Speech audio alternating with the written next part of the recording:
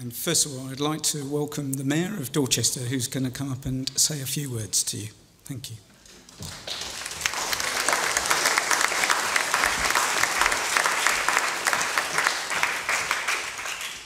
It's wonderful to address an audience who A, have hair,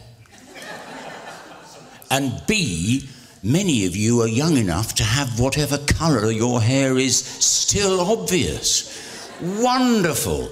Because, of course, this has been an, a spectacular day, and we're here for the summing up, and you're not here to listen to the Mayor of Dorchester. But I am incredibly proud to be the Mayor of Dorchester, the county town of Dorset, the first county in the United Kingdom to have its own cop.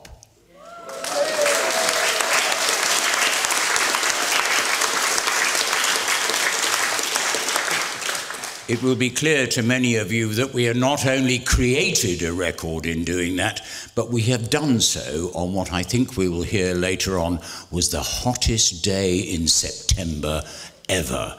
And you're still being here when it's been so hot is a tribute, and the speakers and so on, but that's more than enough from me. Thank you to everybody who's attended, and thank you to everybody who's organised this. Thank you.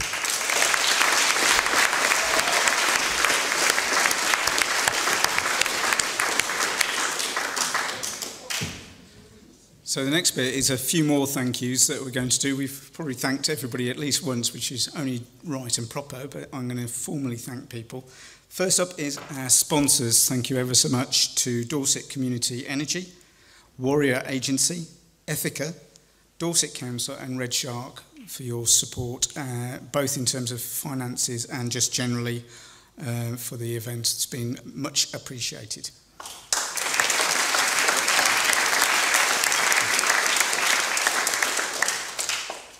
Next up are our fantastic volunteers. I'm being so proud of you all who took part and took time out of today to help with us on the event. It could not have happened without you. You've helped it run as smoothly as possible, and we really appreciate that. Thank you.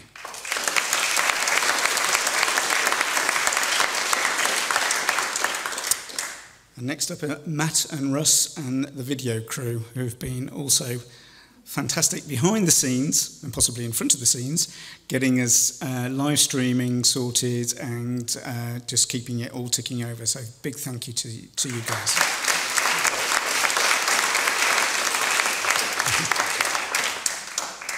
Also, a big thank you to the Corn Exchange staff. Uh, some of them have been here today, but there have been others behind the scenes who have helped us when we've been organising. Uh, probably a big shout out to Sam, who I bothered with hundreds of emails about what was going to happen when. Uh, so a big thank you to all those staff.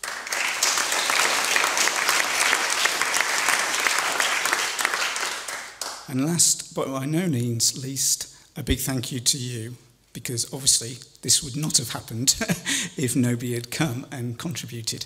So I really appreciate the fact you've come on possibly the hottest day in September and have stayed to the bitter end. Uh, so thank you very much indeed.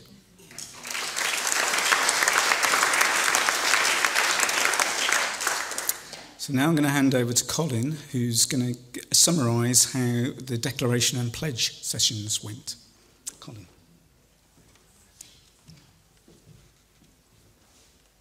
Well,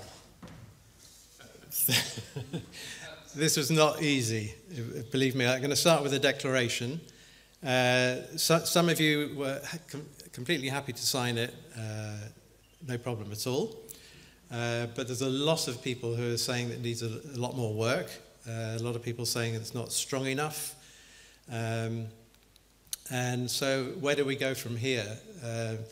Well, I think we're going to, as a, as a team, we're going to have to sit, we're going to have to sit down and work out uh, the next stages. Uh, during the conversations about the declaration this morning, one of the ideas came up was that we could do a people's assembly on, on the uh, on the declaration. Uh, if we do something like that, then it could well go uh, into the end of the year. Uh, but we need to make sure that it's uh, Dorchester uh, Declaration 2023, not 2024.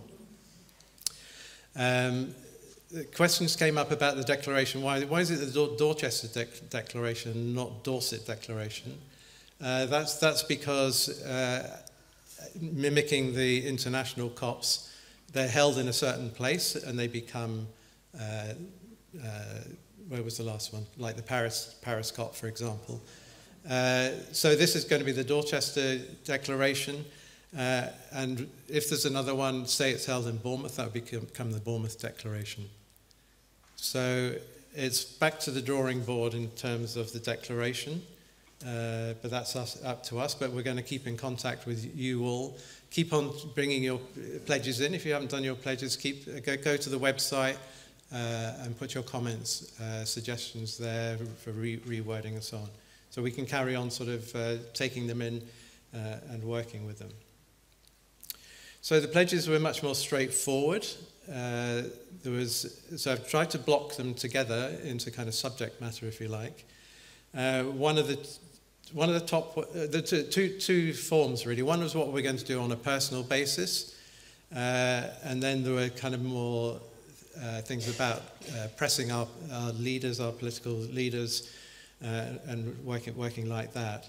So the top one that came up was people making changes to their, the way they travel, for example, uh, using the car less, fighting for public transport, not taking flights and so on, using the bike more than the car, uh, so on and so forth.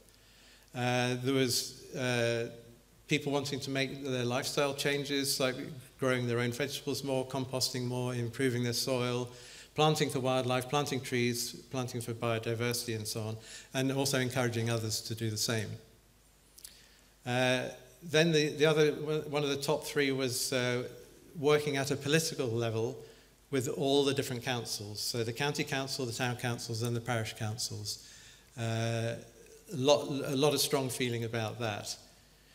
Uh, then there was uh, people sort of making a commitment to start local groups, carry on working with the existing groups and advocate and educate and support uh, people within those groups and the projects that are going on there. Uh, to use money in a sustainable way, uh, divest from fossil fuels, for example, go to banks that are, have a sustainable and a social kind of policy as well. Um, and yeah, to use their own money wisely uh, in the right direction. Uh, people talking about taking courage and stepping outside of their comfort zone. It's like there's an urgency now. We need to, we need to step up, like Chris Packham was saying in his address there earlier, earlier on. We need to step out, step up, and uh, and make changes, make uh, find new motivations, if you like, find new inspirations, and find new conversations. So it's uh, reaching out to uh, our friends and neighbours and so on, where we might have been a little bit afraid to do that before. Um, people talking about eating less meat, consuming. There's a lot about consuming less. Uh, in various different ways. One is about less meat, but also in terms of repairing, mending, uh, buying secondhand, uh, following the Green Living Guide, which we've talked about today, uh, in a way of building up our awareness of how we consume and how we can consume less and save money at the same time. Uh, saving, saving energy in terms of electricity consumption, water consumption, and so on, saving water uh, from the shower to flush the toilet, saving gray, uh, rainwater to uh, water the garden, and so on. Um,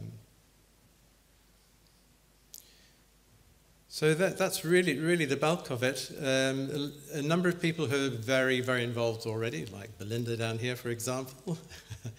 uh, people saying, I'm going to carry on doing what I'm doing. Uh, I'm at capacity already. Uh, and that's, that's great. Carry on doing the work you're doing. It's, it's fantastic.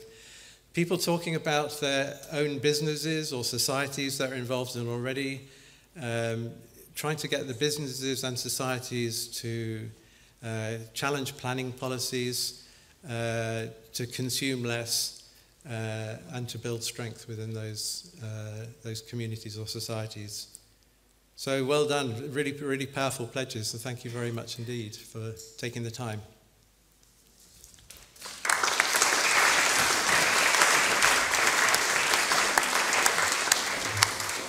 Thank you, Colin. we're now going to indulge ourselves slightly by each of us giving you our highlight of the day. So uh, I don't know who wants to kick off. I think Giles is going to go first. It should be on. Is it on? I foolishly picked up the microphone first. I was going to hand it to Jenny, but I seem to have been caught red-handed. Um, I, have got a few just little little reminiscences of the day, which which are just things which caught my eye. Um, I guess the first one was I thought we had a really good session on the, the policy overview. Um, and then it really lightened off when um, Tobias Ellwood stood up at the end and the sparks started flying and we had our first heckler of the, uh, of the uh, conference who asked a very pertinent question about uh, uh North Sea oil and licenses and Tobias went on the defensive. And uh, anyway, it was, it was a really interesting set of dynamics, which I thought was uh, added a bit of colour and energy to the whole session. And I hope Tobias isn't too uh, put off from coming back if we ever hold another one of these conferences. Um, uh, Bob Ward, I thought, was a really interesting speaker as well. He gave a couple of uh, really, really clear statements um, and some quite controversial ones that, that may not sort of gel with everybody. He said, you know, if we're serious about tackling climate change, we've got to embrace things like CCS, carbon capture technology, because you have to throw everything at it to do it within the time frame. So, uh, you know, I, I think we have to, you know, think about some of the sort of less easy conversations as well as the ones we all agree with. Um, I then went to talk to Colin about the declaration, you've heard all about that. And I then went to do the, um, the, the speaker's corner upstairs, which I thought again worked really well. A little, little corner, which was actually more than 70% full most of the time. Lots of interesting stuff, lots of local organisations who just wanted to talk about what they were doing, and people were really interested to hear what was going on. Uh, there was a classic statement from the Parks Foundation who said that uh, when they set it up for local groups, they just called it Lou Brew and something to do. So, nice little little ditty that one. I must remember that for future. And I learned more than I really wanted to know about washing um, environmentally sensitive nappies and how they were delivered around the neighbourhood in EV vehicles to make them even more net zero. So, classic one there. Thank you for that. Um, People's Assembly. Um, I came at the end of the People's Assembly. The first time I've ever been to a People's Assembly, to my shame. But I was very impressed by the democratic way in which it was conducted and the skill with which it was conducted by everybody. Um, there was a nice, but they had this bit about showing a flutter of hands, the jazz hands, which I've only seen online beforehand, not in, in practice. And there was a, a, comment made about, oh, well, what we really need is proportional representation.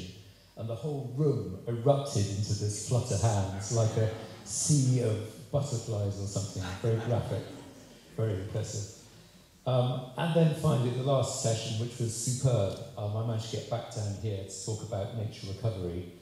And there was all sorts of interesting stuff about uh, you know, one person said, you know, we have to get away from this. We're either meat eaters or we're vegans. There has to be a happy compromise somewhere in the middle. You know, we do need some animals on the landscape for nature recovery. So uh, some, some great things and some a, a lovely statistic I came across that if you put all the gardens together in our houses, it comes to an area that's bigger than the national parks and therefore is essential towards nature recovery. Great suggestion. Sorry, I've spent far too long.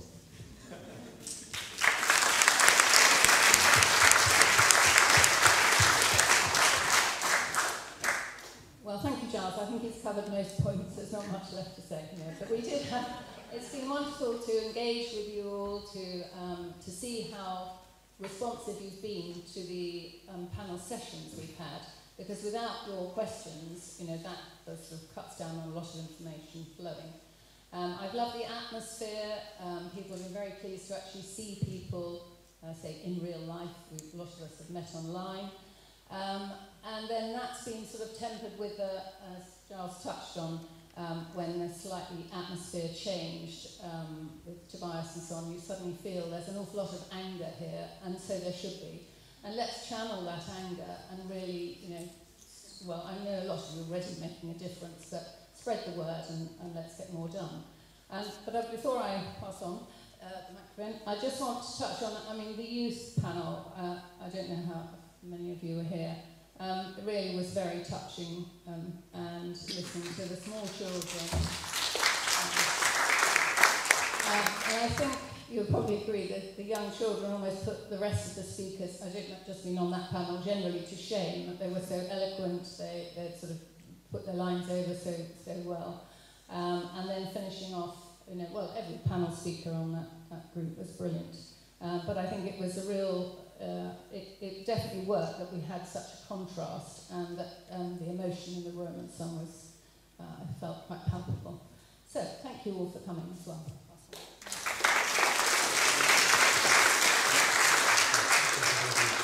I just wanted to uh, say how moved I've been by what we've achieved here, by how many of you are here, and by the commitment and passion uh, really wanting to make a difference. It's very, very touching. Um, as Jenny has said, Giles has pretty much covered most things, but I've, I've gone for the three C's, which is connections, collaboration, cooperation, and that's with spades today, so thank you to everybody who's contributed. Um, and also I really like the comment in the last session on, which was about win-win, um, which chimed with the not losing our prosperity. We can do this and still have a good quality of life. Uh, and I've also been heartened because I've heard in the Speaker's Corner about new groups that are now already coming into the fore. And that is really heartening as well. The community groups are really starting to pick up the pace. So that's really good to hear as well. Thank you, Neil.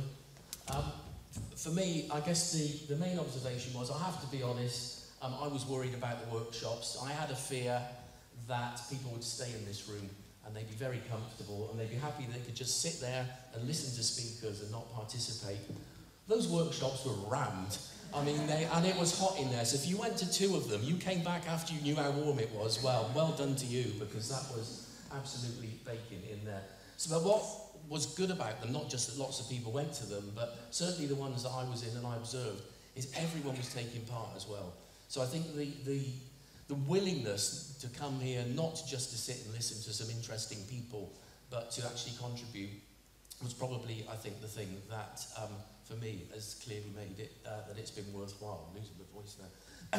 um, and one of the things that came out of many of those discussions was the need for us to be careful with our language.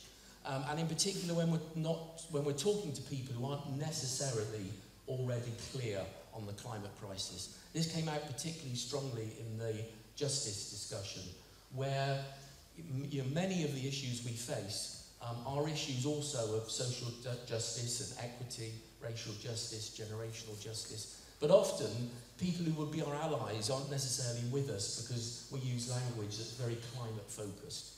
And actually, we need to find ways that we can engage with those people, um, not because we have, excuse me, not because we have a different view, but because we're possibly not using the type of language that brings them with us. So that was something I think that really came through strongly for me today. I think I'm up now anyway, so that was over. Excuse, I will just take a drink of water. I think too much talking and the heat today has, um, has finished off my voice. So, it's my job to um, close this session. I think, Colin will correct me, but I think that's a sunrise rather than a sunset. Sunrise, yeah. yeah. so actually, so it's not quite accurate. It is a sunset, but it's the sunset session um, of today, and it's my role to, um, to lead this close. Um, interestingly, this image was a subject of some debate a few months ago, particularly when June, who's been the engine behind our admin for this. Where, Jude, where are you, Jude? She's probably out doing some work, probably. Know. Anyway, has been the engine behind the admin for this event. And she said to us, Are you really sure about that image? Um, the truth was, we hadn't really thought it through. We'd just been provided by some lovely pictures by Colin, and we all thought, oh, we quite like that one. Poppy Field in Dorset, you know, it's sort of anything. But actually, the more I felt, thought about it, um, in some ways it probably is the implications of it are worth, worthy of considering today. I mean, obviously, the implications being that it's tended to be used for remembrance, a requiem. Uh, but maybe on reflection, there is an element of today in which we ought to reflect and remember. Remember those who are already have been affected by the climate crisis, those who are already today being affected by it, and those who will be affected by it in the future if we don't take rapid action. Um, it reminded me of uh, this book, the um, cheerfully named Requiem for a Space Species uh, Why We Resist the Truth About Climate Change. And in it, Clive Hamilton suggests that the central reason, in his opinion, is that we have a system which is hardwired to issues that promote greed, materialism, and alienation. We have this obsession with economic growth as if that's the only way that an economy can be run for the benefit of all.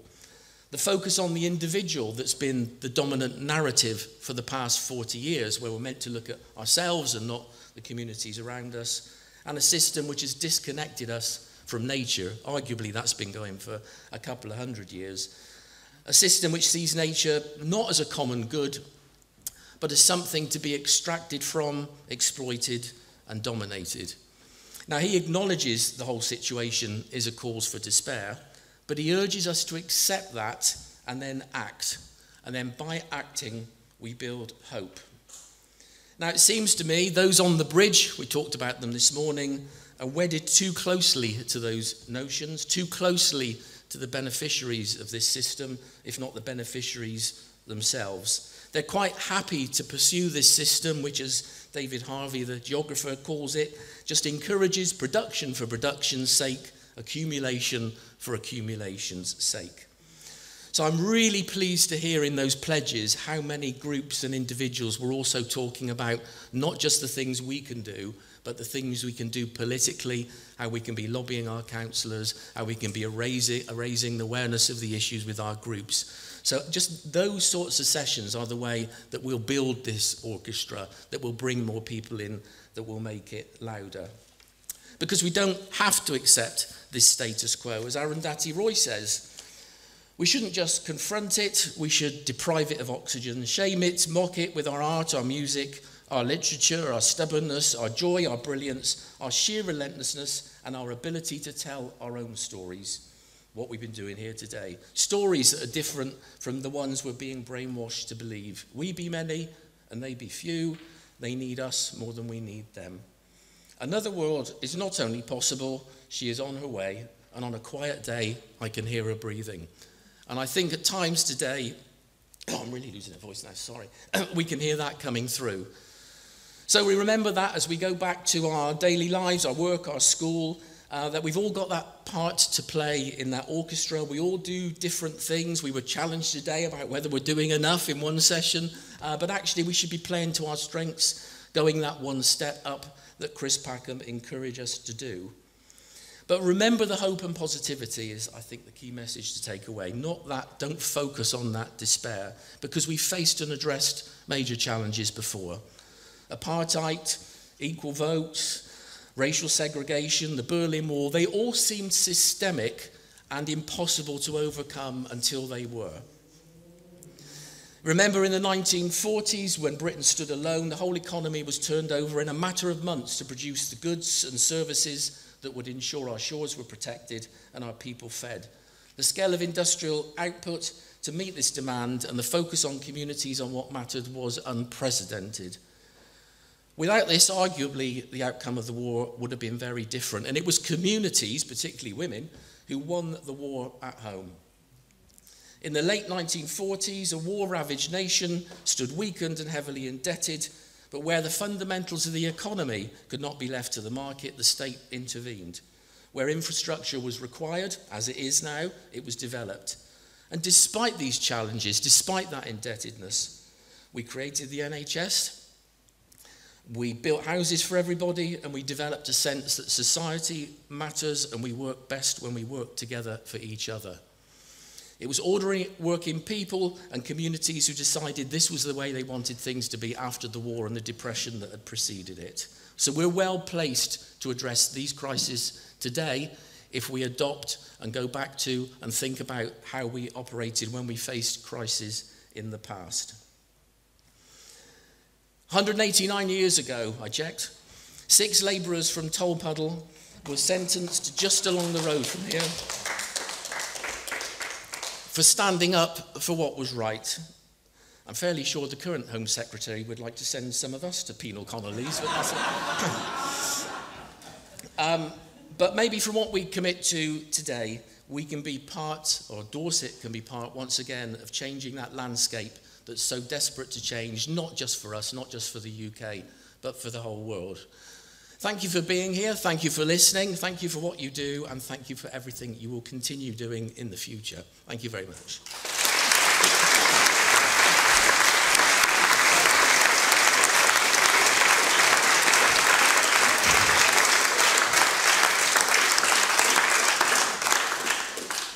I am privileged to be in a very unique club. Can be no more than five. It's the partners of this gang who have been passive listeners in Teams and Zoom calls for the last year and a year and a half while they've planned this, this COP. They've achieved some things that COPs have never done. It's not a soulless place like Catherine described. It's a wonderful place. They haven't run out of water, they haven't fallen out with each other, and they'd almost finished on time. But like all COPs, the declaration is still to be sorted out. Nonetheless, it's a year to go to the second Dorset COP. Dorchester got there first. Can I ask all of you to join me to thank Giles, Jenny, Colin, Neil, and Mark for all their hard work in making that possible? Thank you.